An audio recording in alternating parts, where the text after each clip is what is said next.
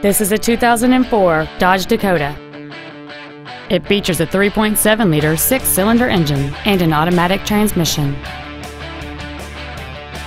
All of the following features are included.